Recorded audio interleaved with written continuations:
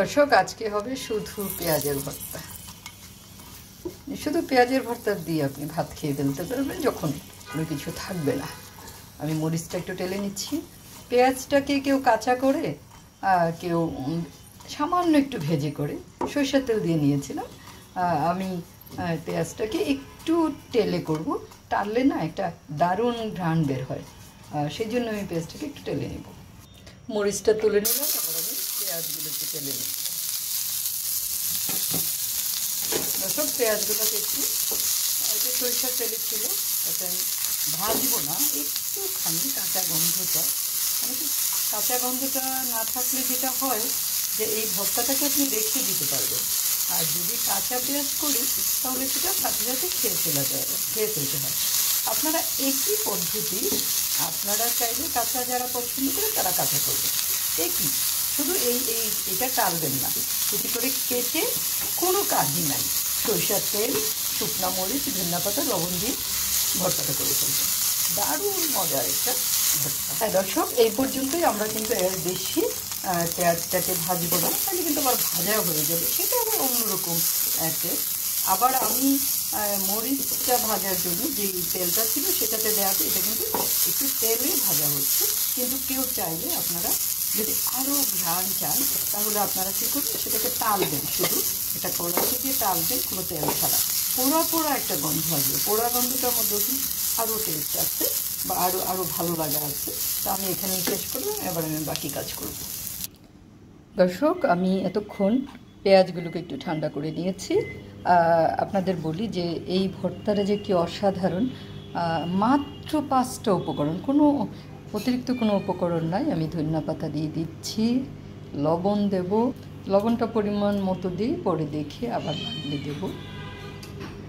লবণের সাথে দিয়ে দিলাম শুকনো মরিচ।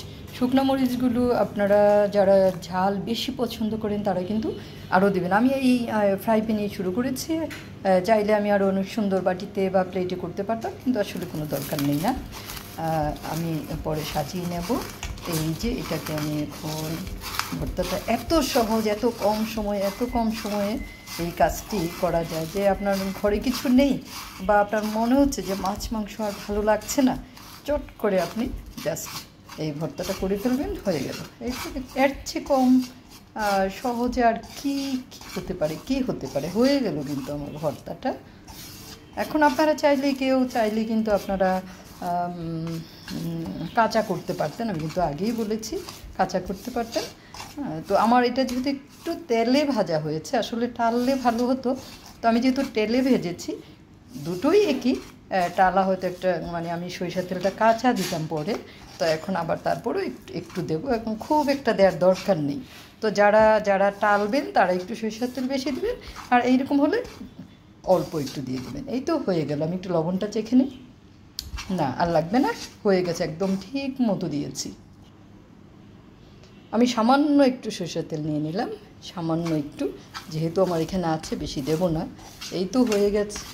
চমৎকার একটা পেঁয়াজের ভর্তা। আপনারা ঠিক আমি যেভাবে করেছি, এভাবে করে দেখুন না কেমন লাগে।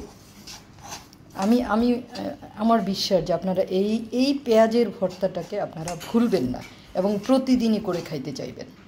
যদি হাতে সময় থাকে। আর এই তো এখন আমি সাজিয়ে নেব।